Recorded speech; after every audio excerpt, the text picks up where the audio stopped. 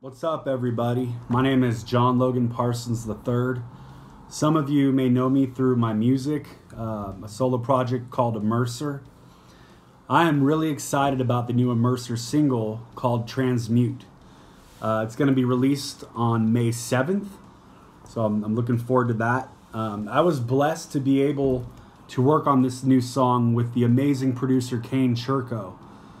Kane has worked with some amazing artists such as In This Moment, Papa Roach, Violent Idols, and Gemini Syndrome. Uh, he works at his at a studio called The Hideout in Las Vegas, and if you're a musician or you're in a band and you're looking for really good quality work, I uh, highly recommend you look into Kane and his studio in, in uh, Las Vegas.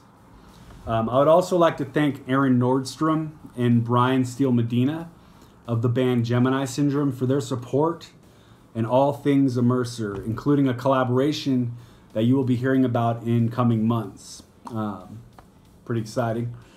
Uh, it would mean a, it would mean the world to me if you could visit the link associated with this video and pre-save the new Immerser song Transmute on Spotify, or share this video. Um, that would be helpful too. I'm really proud of this song, and I know you're gonna love it. And um, thank you for supporting your local music scene.